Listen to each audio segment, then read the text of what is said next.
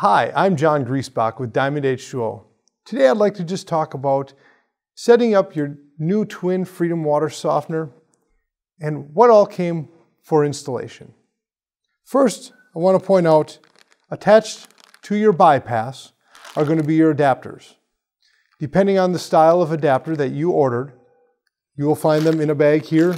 We usually zip tie them to the front so they don't go anywhere unless you take them off. The types of adapters that are available are just about endless. So if you don't have what you want to use or what you feel you need, please contact your Diamond dealer or diamondh2o.com.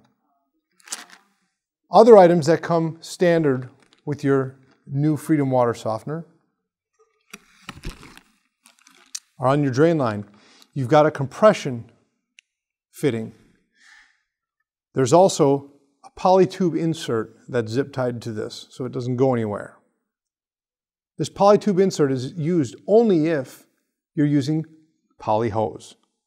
That's so that way when you use that half inch poly hose or uh, 5/8 OD hose, when you put that into this compression nut and tighten it down, it doesn't collapse the, collapse the hose. You'll have this uh, polytube insert there to, to compress against.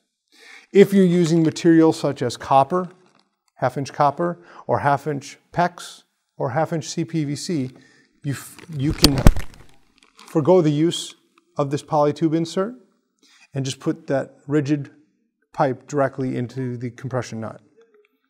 If you'd prefer not using the nut at all, feel free to take the nut off and throw it away. This is 3 quarter inch MPT. Also, on your Freedom water softener, you'll see an elbow near the back. This elbow is a push lock fitting for your brine tank. So to connect your brine tank, take your hose, cut it to length, and just press it in there and make sure it bites in all the way. Okay?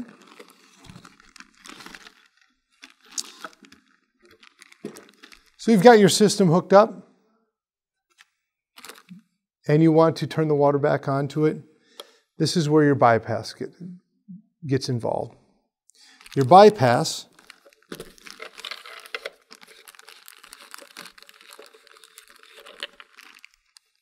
is two arrows.